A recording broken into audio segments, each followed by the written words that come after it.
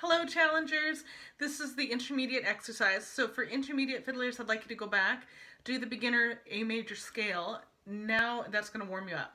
Now we're gonna do a two octave A major scale because you can. And we're gonna focus on fourth finger placement and intonation, making sure we're perfectly in tune. So two octave A major starts with first finger on the G string, goes all the way up to three on the E string. Your finger placement for this tune is high two from G to E string, high three on G and D strings. So you have your C sharp and your G sharp. Third finger natural position, regular D, regular A on the E string. So here we go. First finger on the G, B, C sharp.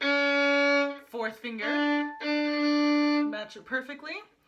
Notice I'm going to the open string first for a guide.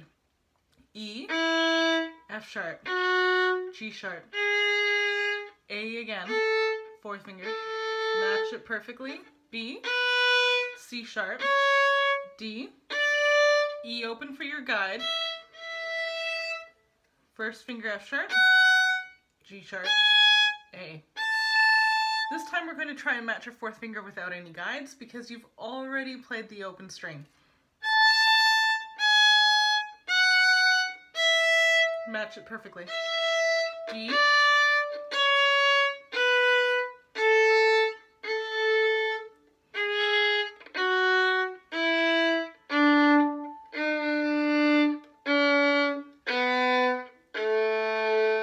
So there's your two octave A major scale. Now I want to challenge you to the A major arpeggio. But before we go off, sorry, my ideas are all over the place here. I want you to play the A major scale and call your note names out first, then play the scales. A, A, B, play, C sharp, play. So it looks something like this.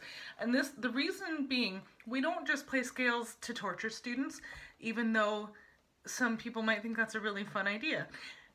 You're, you're playing scales to really learn your finger placement and you're playing scales to understand what it should sound like.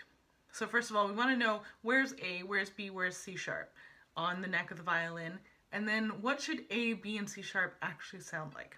So there's those two ideas that are marrying in this exercise. It's not scales for scale's sake because there's really no point, and that's kind of the whole idea behind our 14-day challenge. We're not practicing mindlessly. We're really focusing on specific areas that are going to target and improve our playing. So here we go. My first note is A. Second is B. Third is a high three C sharp. D.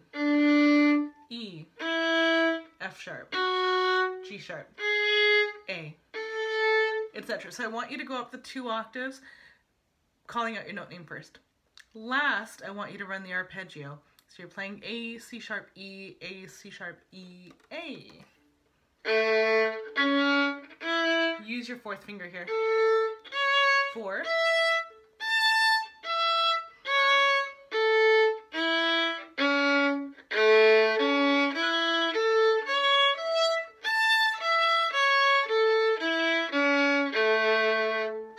All right. Once you've done that, I want you to do the same idea. A, call it, play it. C sharp, call it, play it. E, call it, play it.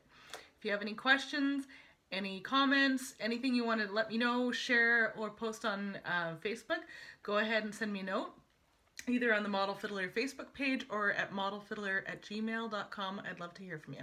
Thanks so much for joining me today. We'll see you tomorrow for day four.